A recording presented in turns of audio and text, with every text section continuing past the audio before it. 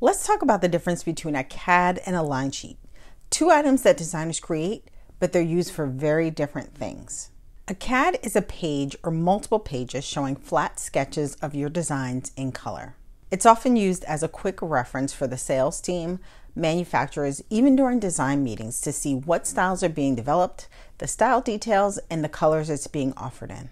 A line sheet is similar to a CAD, but it's more like a chart that shows the style, usually just the front view in black and white, and sales details like the style number, the price, the label, the size range, and the colors.